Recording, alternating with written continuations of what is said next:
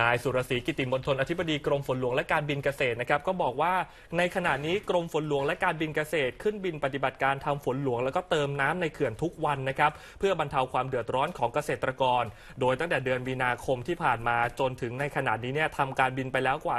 4,600 เที่ยวบินด้วยกัน ซึ่งก็ได้รับการสนับสนุนจากภาคส่วนที่เกี่ยวข้องนะครับเช่น ได้รับเครื่องบินของกองทัพอากาศ และก็กองทัพบบก มาใช้ปฏิบัติการเพิ่มรวมเป็น 29 ลำ จากเดิมที่ใช้อยู่ 21 ลำใน 11 ศูนย์ปฏิบัติการในแต่ละภาคนะครับสำหรับการทำฝนหลวงเนี่ยตั้งแต่ช่วงเดือนมีนาคมจนถึงในขณะนี้ก็ถือว่าประสบความสำเร็จไประดับหนึ่งนะครับ เดี๋ยวเราไปฟังเสียงท่านอธิบดีกรมฝนหลวงและการบินเกษตรครับ ปฏิบัติการฝนหลวงเนี่ยนับตั้งแต่วันที่ 1 มีนาคมจนถึงปัจจุบันนี้เนี่ยเราประเมินในเรื่องของวันขึ้นบินปฏิบัติการแล้วมีฝนตกเนี่ยถือว่าเปอร์เซ็นต์ความสำเร็จอยู่ที่ประมาณ 88ถึง89เปอร์เซ็นต์นะครับก็ถือว่าสูงพอสมควร แต่ถ้าเทียบกับทุก ๆ ปีแล้วถือว่าน้อยกว่าทุกๆปี ทุกๆปีเนี่ยจะอยู่ประมาณเฉลี่ยแล้วประมาณ 95%ขึ้นไป แต่ในปีนี้เนี่ยประสบปัญหาในเรื่องของฝนทิ้งช่วง ค่อนข้างมากประกอบกับในส่วนของปริมาณน้ำในเขื่อนเนี่ยค่อนข้างน้อยมากนะครับ เพราะฉะนั้นเนี่ยในการที่เราติดตามสภาพอากาศแล้ว เรามาประเมินแล้วนะครับว่าโอกาสในความสำเร็จเนี่ยอาจจะอยู่ที่ 4-50%ในวันนั้นเนี่ย ในช่วงเช้านะครับเราก็ยังต้องตัดสินใจที่ขึ้นบินปฏิบัติการ เพราะเราไม่รู้ว่าสภาพอากาศในวันรุ่งขึ้นเนี่ยมันจะแย่ลงไปกว่านี้หรือไม่ แล้วเราก็หวังว่าในระหว่างวันเนี้สภาพอากาศเนี้มันอาจจะมีการเปลี่ยนแปลง เพราะฉะนั้นถ้าเราประเมินแล้วโอกาสประสบความสำเร็จ 4-50%บางครั้งเราก็ต้องตัดสินใจขึ้นบินปฏิบัติการ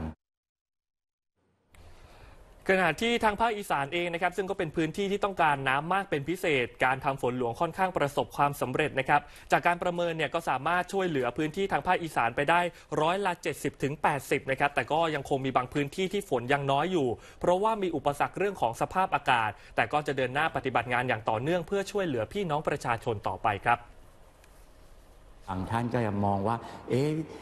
พี่น้องเกษตรกรบางคนก็มองว่า เอ๊ะมันมีเหมือนกับเป็นฟ้าคึ้มๆในลักษณะที่เป็นเมฆชั้นกลางชั้นสูงปกคลุมในลักษณะนี้ทำไมฝนหลวงถึงไม่มาบินในลักษณะแบบนี้ แต่เวลาท้องฟ้า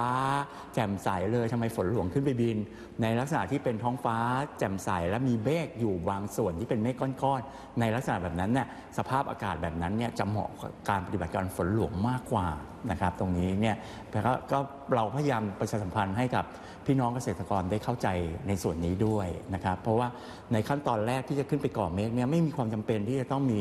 เมฆเยอะๆในลักษณะแบบนั้น เพราะว่าเราดูในเรื่องของความชื้นสัมพัทธ์แล้วเราถึงไปก่อเมฆให้ เพราะว่ามันไม่มีเมฆเราเลยไปก่อเมฆให้จังหวัดอะไรล่ะคะที่แบบยากที่สุดสำหรับการทำณตอนนี้นะครับก็จะเป็นที่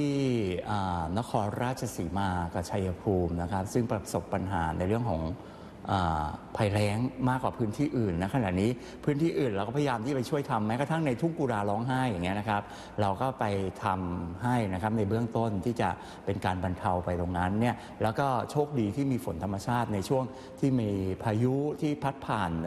เรียบๆบ้านเราไปในส่วนนั้นเนี่ยก็จะมีฝนธรรมชาติเติมเข้าไปด้วยส่วนหนึ่ง ก็ถือว่าค่อนข้างที่จะโชคดีในพื้นที่ทุ่งกุลาร้องไห้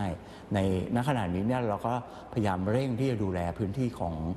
จังหวัดนครราชสีมาชัยภูมินะครับแล้วก็ทางขอนแก่นตอนล่างตรงนี้เนี่ยซึ่งถือว่าเป็นเป้าหมายสำคัญที่เราจะต้องเร่งตรงนี้ เพราะว่าถือว่ามีฝนที่ตกลงไปน้อยกว่าในพื้นที่อื่นๆค่อนข้างมากครับ